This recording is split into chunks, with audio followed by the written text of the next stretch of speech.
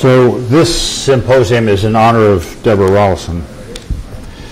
And Deborah, for many years, worked, maybe all her life, has worked on causes that are unpopular. And there are two interpretations of causes that are unpopular. One is that they're just a bad idea.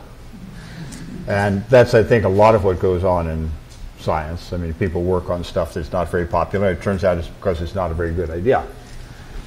But there are a smaller number of people who work on ideas that are unpopular at the time they work on them, but subsequently turn out to be really good ideas later. These are people with some vision of what the future can be. And Deborah falls in that latter category. It's the work that she's done on particularly electrically conducting high surface area solids was at a time when she started doing it when people were doing other things, you can argue more or less sexy, but they've turned out to be, I think, the foundation for what's going to be a really important part of not just modern electrochemistry, but modern um, solid state science. So she was right on that one. And then, of course, the work that she's done on diversity is absolutely correct. At the time she started, it was not at all clear what she was arguing for. The way that she was arguing for it is was the best way of doing it. But I think that everyone now agrees that the American cha- changes in the American workforce are all for the better. And I think she deserves credit for sticking with that, even in a period in which not everyone loved you for what you were doing. So, congratulations, Deborah. Two good causes. It really has made a difference to science. Now, I'm going to talk about something that has nothing to do with electrochemistry, nothing whatever. So, those of you who are here under the wrong impression, feel free to leave, but do it in a way that makes a social statement because it's more fun that way.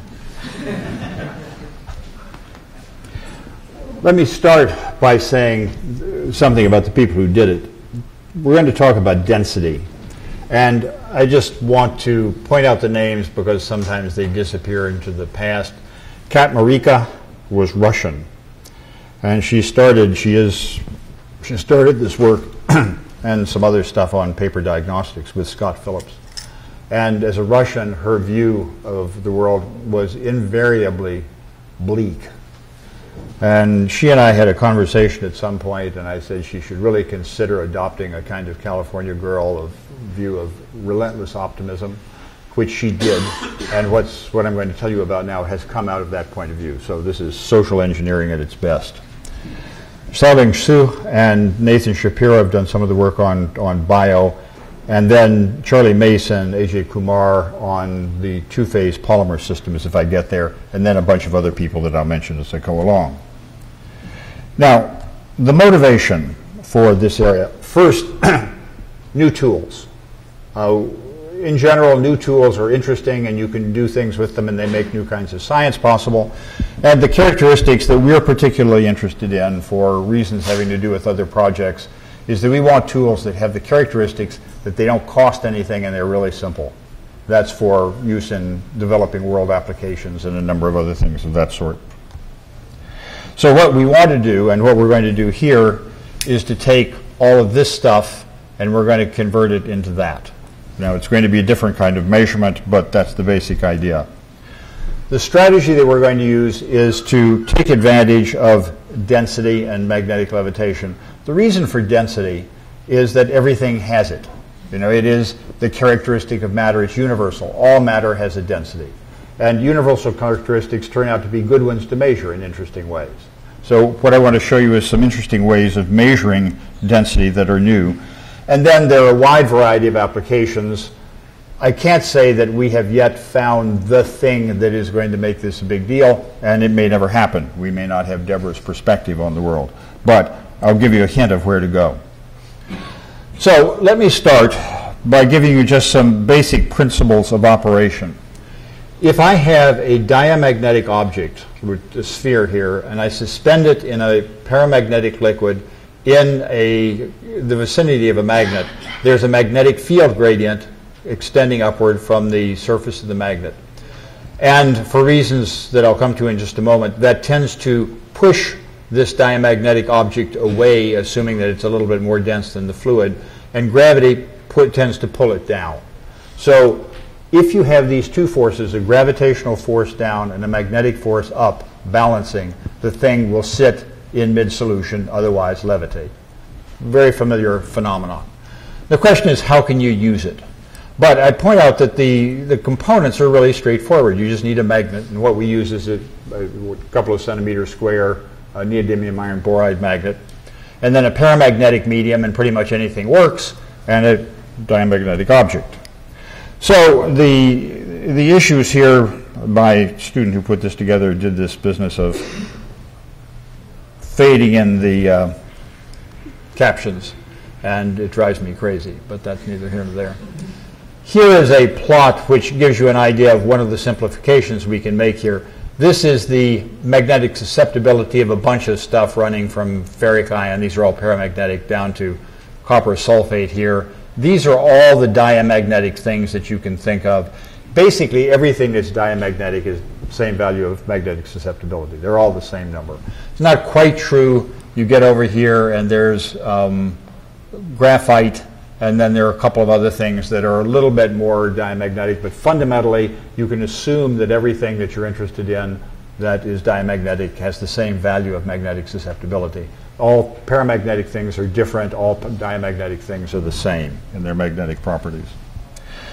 So what we want to do is to design a magnetic field system that gives us useful analytical results. And the particular design that we use is to take these two magnets and put them in what's called the anti-Helmholtz configuration so that the north poles are facing one another. And that means that the magnetic field skews out like this and more importantly, it means that in this region between here and here, there's a linear gradient in magnetic field. So the magnetic field goes linearly.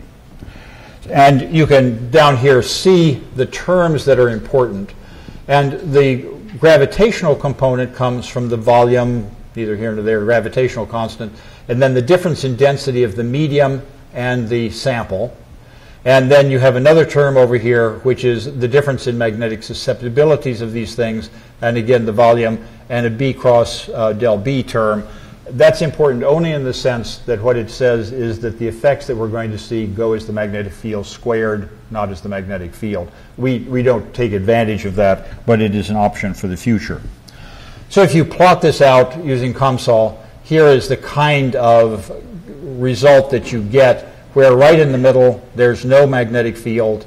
It gets more intense as you go toward the surface, and it sort of goes out here. We call this a magnetic bottle. There's a little magnetic region in the center where the magnetic fields is uh, where the magnetic field gradient is essentially zero.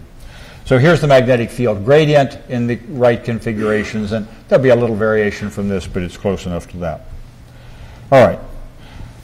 If you look then at what happens when you simplify some of this constant magnetic field and so on, the height at which something will levitate here is related to the difference in uh, densities and the difference in magnetic susceptibilities times some other things that are involved there.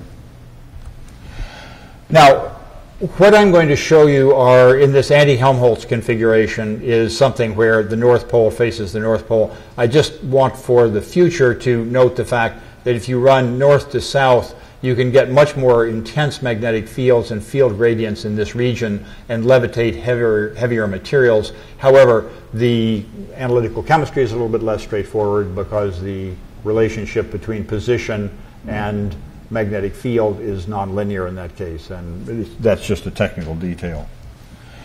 So, what's the device?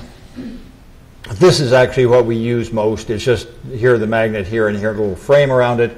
Here's the one where we use for when we're talking about the developing world. It's a carpenter's clamp where we've glued the magnets top and bottom, and then you put the cuvette in between, and you can adjust things if you want. So really, really simple. But you can do an amazing amount of stuff with this. Now, solutions, the only thing to note here is that you can get a wide variety of solutions. As you know, transition metal salts come in all different flavors. We usually use gadolinium and manganese because they're cheap, they're non-toxic, and they're transparent. But if you want something that's biocompatible, you tie up, let's say, gadolinium with a chelating agent. This is actually used in vivo, and it's very compatible with biological systems. You can use non-polar, non-aqueous solvents, so gadolinium and methanol. You can use non-aqueous solvents, so you take this material and it will go very nicely in toluene. And then there are a number of other things that you can, you can use. And here's an example. So you take gadolinium, gadolinium chloride in, in water, and these are fairly concentrated solutions, a bunch of polymers in this particular case. You dump it in, in the absence of the magnetic field, some sink, some float, and then you put this in the magnetic field, and these are the stable levitation heights from which you can measure the densities. Now, what about size, you say? And so long as this gradient is linear, one nice feature of this is that the levitation height is independent of the size. So here is a large bead of something, and there's a tiny bead of something in somewhat different circumstances, and they're floating at exactly the same height. So all you need to know is the center of the thing, the size doesn't make a difference. Now, the size does make a difference when you get to very small things. And what I'm showing you here is simply the time uh, required in these particular experiments to get stable levitation for a bunch of things that are small. So at 7 or 8 microns, it takes an hour or so to accumulate these in a stable position here. But by the time you get to something that's one micron, which is an important number because it's the size of a cell, what you find is basically Brownian motion smears this out forever. The, the field gradient, the forces are just not big enough to overcome the collisions from thermal activation. So there are two kinds of measurements you can make here. The one that's certainly easiest is to take one of these samples and you put in two objects of known density and you use those simply as a reference and you extrapolate between them. If you know that density and you know this density and you know there's a linear relationship, you put something else in between, you simply measure the position relative to those, and you're there. And you don't actually need to know even the concentrations very much then. The relative measurements are very good. You can also do this in a situation in which you don't use reference objects. You know the concentration, you know the geometry, you know all the rest of that. The difference is here you have to know the physics, here, you don't have to know the physics. So it's easier, also more accurate. What is the accuracy? And these, this is really pretty interesting. What the blue bars here, and you just need to take any one of these. Let's, let's take this one. The blue bar is the density of a object that we buy from a density standard laboratory. And then the red bar is a measurement done using two reference beads, and the white bar is a measurement done carefully using an absolute measurement. And you can see that they come out really very well, but over here what's interesting is to look at the density, and this is density error, and this is 0.0000002 or something like that. These are very precise measurements um, given the way we're doing them, but they're very precise measurements regardless. What else can we levitate? This is the part I like best. Water, put water in an organic. Oil, there's a drop of oil. So liquids, milk, uh, rice, peanut butter, string cheese, honey, ketchup, crystals of some kind, and aspirin. Now, that's actually an interesting group because let me just take a couple of them. The the cheese, or if you like uh, peanut butter. Peanut butter is a good choice because, it, particularly if you like chunky, it's heterogeneous. So how would you measure the mean density of a chunk of something that's heterogeneous, waxy, and you know you couldn't get it into a tube, you can't do much else with it. Big deal. String cheese is the same thing. I'll show you a use for this aspirin uh, just a little bit later. Milk is interesting because, for example, in much of the world, milk is sold on the basis of butterfat. So a very simple method of measuring butterfat is actually a big, big help to farmers who are trying to understand how to price their milk. Here's another interesting real-world example. Kerosene and diesel fuel. Why does anybody care? The answer is, in India, the government subsidizes kerosene as cooking oil. It's used for heating and for cooking. But diesel fuel is what one uses to power the ubiquitous diesel cars and whatever trucks and things like that. So what people do is they take the kerosene, which is subsidized, and put it in the diesel, and then they sell the diesel at diesel prices. So you go up to about 5%, saves some money. It wrecks the diesel engine. And so it also increases pollution enormously. So it's a, it's a major problem. So what would be a point of sale method of doing this? And here's 100% diesel with zero kerosene in an appropriate system. Here's 0% diesel with 100% kerosene. And here's the kind of number that you look at 90% diesel and 10% kerosene. So we do a little bit of engineering, and this just makes the case that if you put the you use a reference bead here, and you put a fuel sample in, if they're in the same thing, they tend to stick to one another. So you just have a little two-port cell where these the fluid in here can communicate, but the reference bead and the fuel sample can't. You make the reference sample the value that you expect for 50%, 95% uh, diesel, 5% kerosene, and then measure it. And here's the kinds of numbers that you can get, the levitation height and the percent kerosene in a sample. And if you're interested in 5%, it's, you know, it's a couple of millimeters and easily detectable by eye. That corresponds to a 0.002 number in difference in density. And then the authenticating pharmaceuticals. If you go to particularly Africa, but also a lot of India, and you buy a drug, and it says on the outside Lilly or GSK or something like that, you have no guarantee of what's in this stuff. 50% of them are completely made up. So it's a major problem, not just in fraud, but also in compliance. If you're in TB medication or AIDS, you really, really, really need to take your medication every day. And when you buy it, and what it says is it's the right stuff, but it's not, you're, you're doing the right thing as a patient, but, and you're paying somebody for a medication, and what you're getting is, is sugar. And so, how do you tell? And this is not a perfect way of doing it, but what you can often tell is, for, particularly from a given manufacturer, uh, and particularly for a first world manufacturer, their quality control is really very good. So ibuprofen from a reputable manufacturer will always have the same density because it's made the same way. And if you take your thing of ibuprofen and your thing comes down here, that says it's not the same thing. Now you've got to figure out what's going on. And if it turns out to be density matched, that doesn't perfectly say it is the right thing, but it's a very, very simple method of making this kind of analysis. And here are more of these, not important. And here's another sort of interesting problem. This is, again, important in the pharmaceutical industry. One of the problems in pharmaceuticals is the, the uh, uh, polymorph problem. You make something, you crystallize it, and if there are a number of polymorphs, you have to have quality control over polymorphism for the reason that a different polymorph will have different solubility, different rates of solubilization, and hence by different bioavailability. And there's some real horror stories about not controlling polymorphism. So how do you take a 100 micron crystal and tell that it's the right polymorph? And the answer is you put it in here. Here's one phase of one of these things, and here's another phase of one of these things.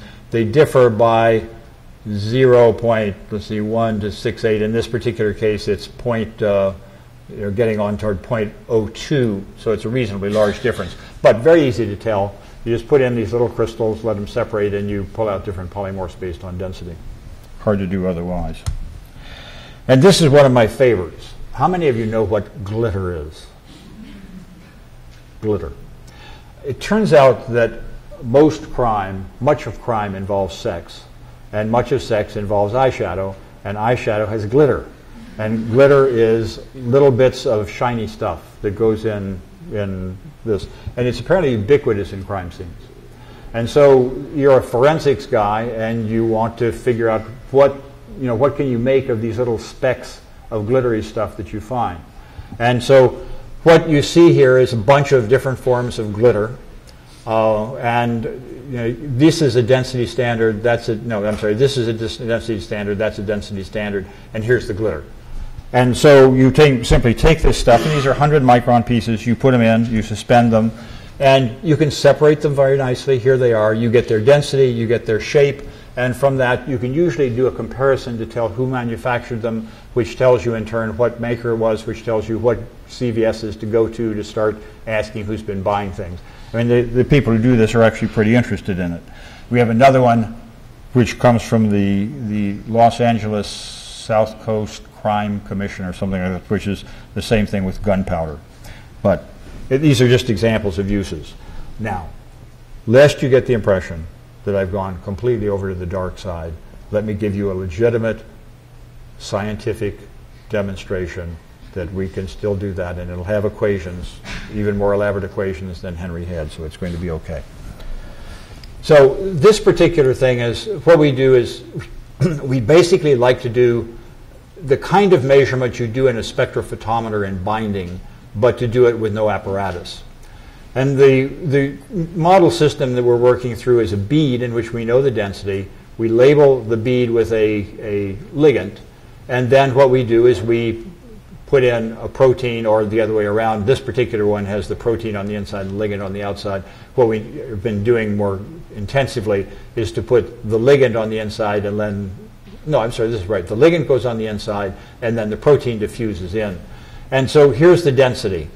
Uh, if you have a ligand here which does not bind the protein very well, what happens is it doesn't, nothing happens. If you have a ligand which binds the protein. Uh, and what you see is as the protein binds, goes from the solution into the interior of the bead, you see a change in density. So now, here, if you look over here, you'll see this going on. Here's the beads becoming more dense. The point to look at here is 140 hours and 27 seconds. So this is slow, but I'm showing you this because it shows you the science.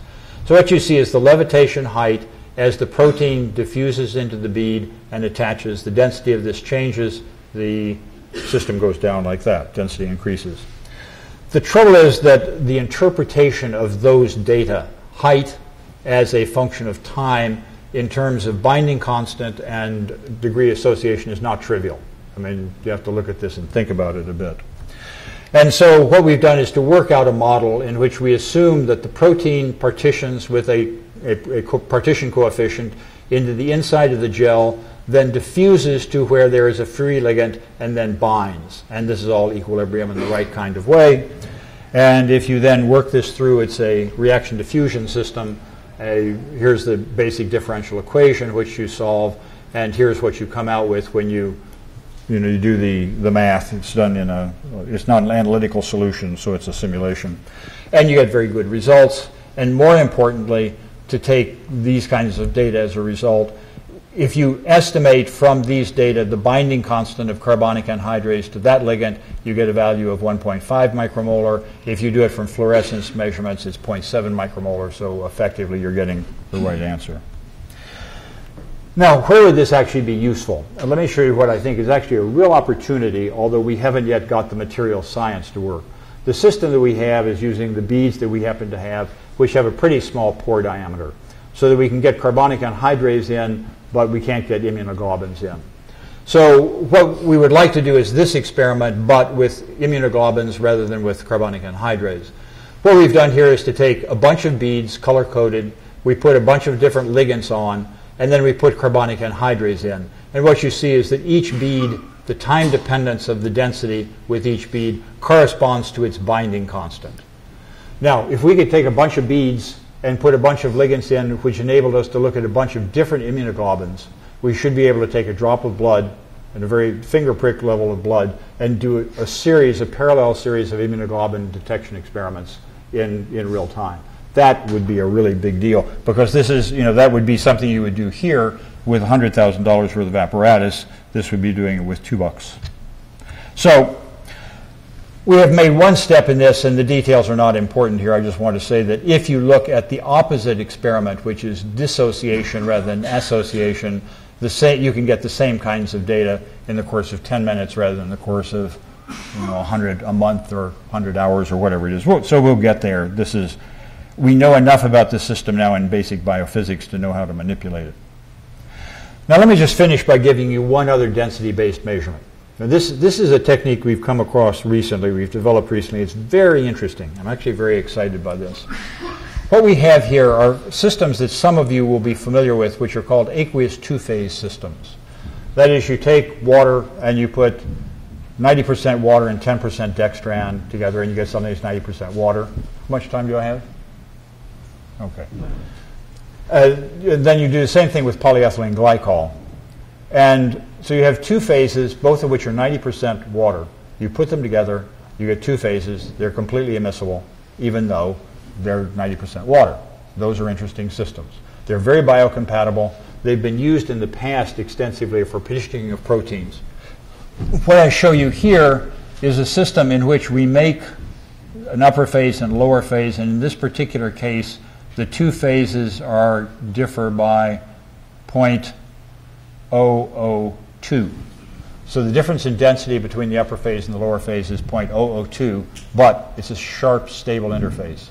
So we can make stable point gradients, step gradients, where I don't think there's any real difference, any real lower limit to what we could do there in terms of density. We can probably make them at 0.0001. We haven't tried to do that yet. And then what you do is put in objects of different density, and they just, you know, go, they, they will go down until the density of the lower phase is higher than the density of the object, at which point they stop. So the, the old way of doing it was partitioning, and a lot of literature work, particularly by a Swedish scientist named Albertsson, was put together to develop the sort of basic polymer chemistry of these systems in, in the 60s. And they've been used, as I say, for crude partitioning, but not very much for other things. So here are some examples, and this, this is one direction to go in this.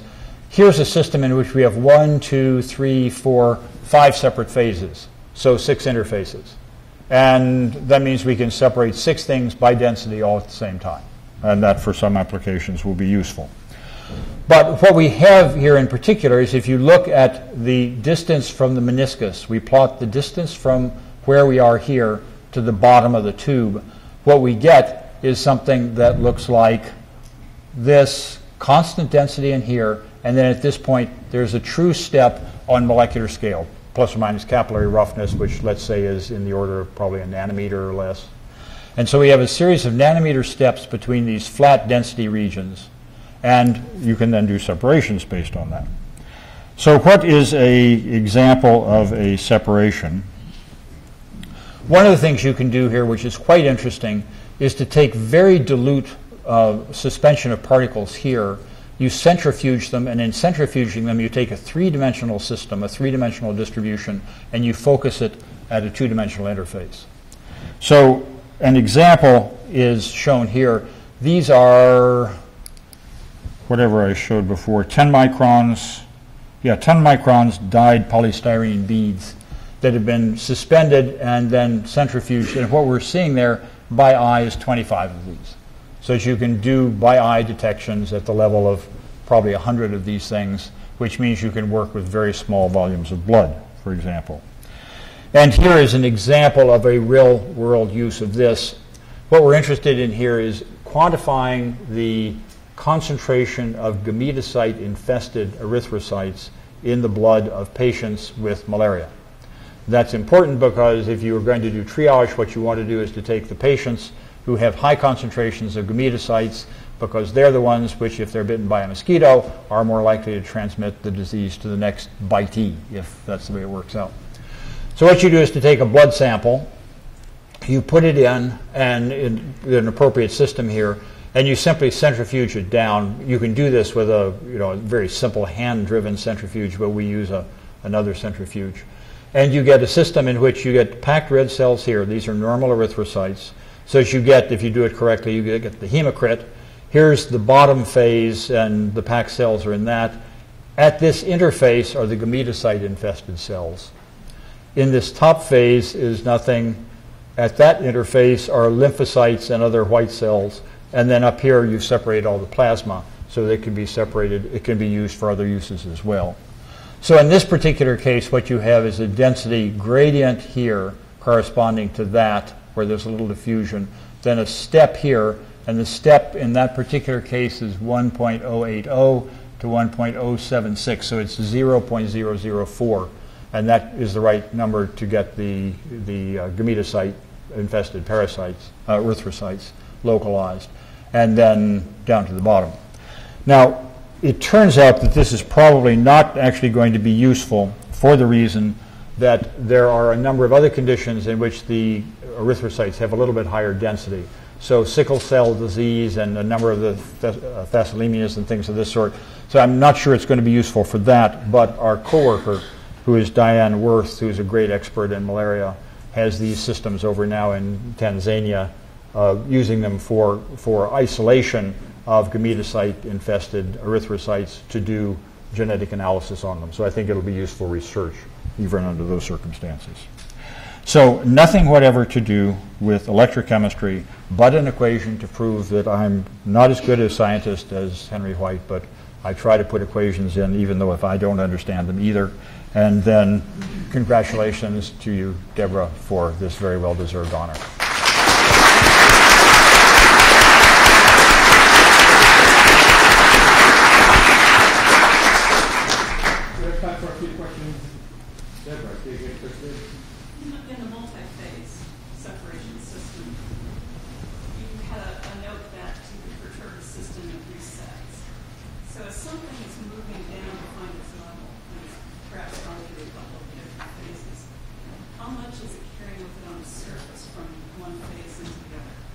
It's a, it's a legitimate question. I don't know. Probably not much because the ions will be able to partition on and off. And, you know, if a polymer sticks, yeah, it might do something. You could also worry a little bit about a tiny perturbation from hydrophobicity, but I don't think that's going to be a big issue. It's a legitimate concern. But in a sense, if you get separations, you get separations. So you may have to do some empirical tinkering. Right. Yep.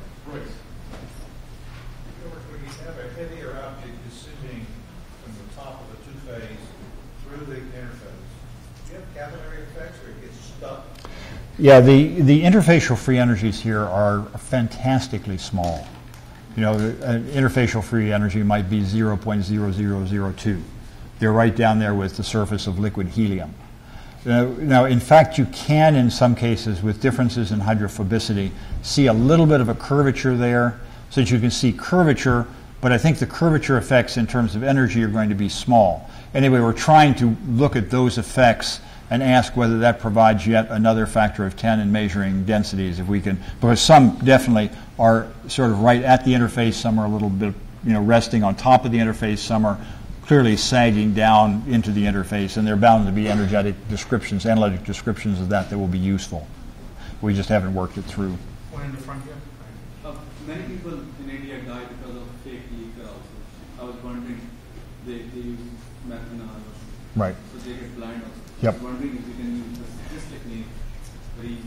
We haven't looked at that problem. It's an interesting one because the trouble is that the, the junk that goes into cheap hooch is really varied. You use whatever's around. So you use ethanol, you use various kinds of fusel oil, you use all kinds of things with different densities.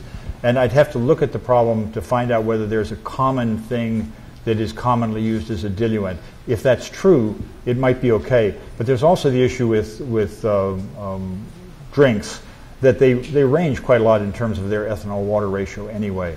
So I would guess that that's a less promising way of doing this than to do some kind of chemical method that would, would detect the, uh, the dilutants in some other way. But it's an interesting problem, and I'm, since I'm very interested in drinking, I intend to look at that. Yeah. How does it look if you have a gradient in the magnetic field? If you have what? A gradient in the magnetic field. Well, you can work that out. The, the virtue of the system that we work with is that the gradient is linear, so it's very easy to do. But if you have something that's some you know more peculiar shape, you just have to take that into account. The easy way of doing that is going to be to take a series of density standards put it in, and then do a spline fit. That way you don't have to do an analysis, and there's going to be no discontinuities. This has to be a continuous function. So I think it'll be possible to work that out without any difficulty. It's just we haven't done it. If you were to optimize, how short do you think you can make these things work? I think it can be very fast. I mean, the, the time required to do something that's even a modest sized piece, they reach equilibrium in seconds. So the whole system just goes chunk and does what it's supposed to do. It's the small ones that are interesting and, and problematic. And I think there are ways of accelerating that. But what we have to do right now, particularly for the biological applications, we need to get some beads that have the characteristic that they have large pore volumes uh, and are easy to work with. And the only problem with doing that is that right at the moment, we happen to be the people who are working on this are more biophysical than synthetic organic, and they don't know how to make it. But if any of you is a you know a synthetic polymer chemist and you're desperately eager to take on a sort of an interesting problem, we will be eternally grateful to you. I think on that note, we close this first session. Thank you to all the speakers.